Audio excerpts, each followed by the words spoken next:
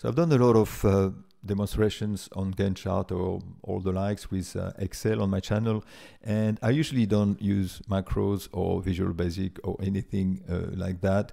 Uh, for several reasons. The first reason is more difficult to explain. The second is more complicated to do, and and uh, it's more uh, difficult to share. As soon as you have uh, Visual Basic, obviously there's some programming in this, and and Microsoft, and rightly so, they don't want spread viruses and the like, so they really have a lot of security around it. So it's not very easy because for me, this is the beauty of Excel. It's a development platform, but also it's also a software in itself. You can just uh, give it to anyone. Here, here's my spreadsheet, and they can just go ahead and code.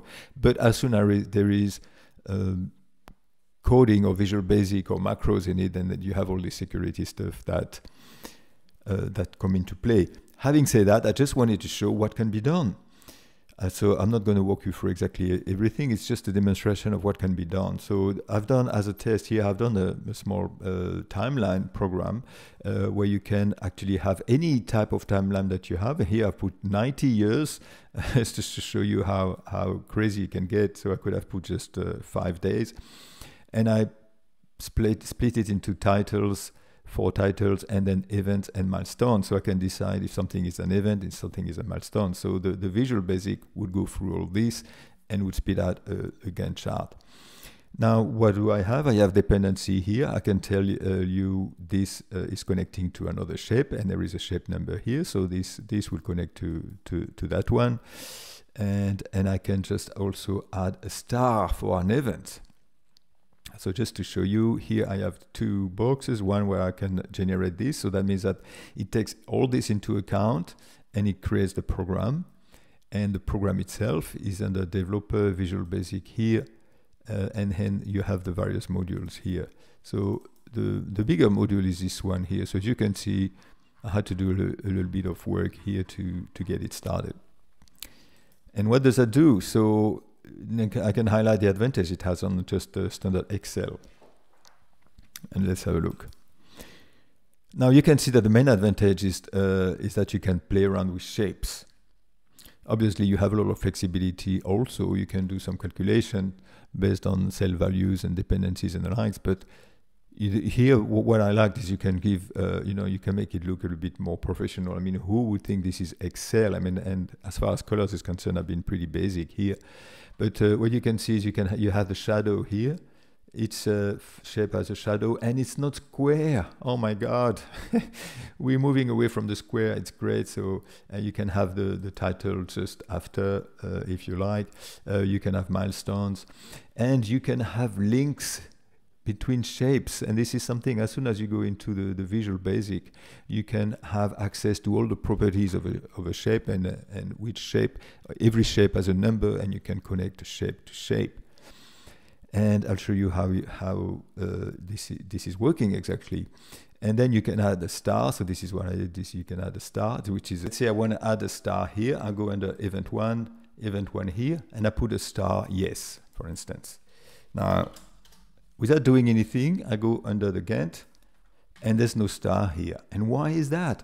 It's because the macro has to run and the, my macro is behind this, is behind this. Uh, I think if you uh, go under assign macro, you realize there's a macro assigned to it. So I need to run the macro first and then go to timeline, that's just uh, to put me out of there. It's really uh, optional. And now you see there is a star. So that's the type of things you can do with. you can do more than that, but it's just uh, to give you a quick demo, uh, for instance, the advantage of this. Now, something else that you can, that, that that we can do, as mentioned, is that you can actually link shapes, and that looks more like Microsoft Project, which is the goal I think for every Gantt is to look look like Microsoft Project. For instance, let's say that I want to have a link between this event here, event one, and first WW, first World War. Okay, don't look at dates. Uh, so I need to go to event one, and I need to connect to the shape uh, number two. Okay, so I just go to the shape number two. Here we go. Uh, I need to generate the timeline again, and after after I go to the timeline, and you can see there is a link here. It takes the color of the first one, of the second one, sorry. And I can give you shapes here. And then you have all the flexibility of putting things in bracket and, and dynamically here uh, with Gantt charts. Without VBs, you need to have cells. You need to have every cell with a, with a formula, with anything in it. But with Visual Basic, you can say, okay, uh, go to this uh, position uh, based on the previous uh, item and then, uh, then go to the next cell or whatever. So you have a lot of flexibility uh, that you don't have.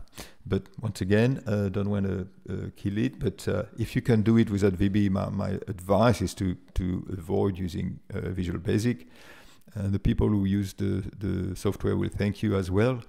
Um, but if you want to have fun, I suppose it's a good way to learn to to do this, to use Visual Basic on something you already have, you already have without the VBs, and then you try progressively to add some VBs component into it. Okay, so this is the, the first one I wanted to show you.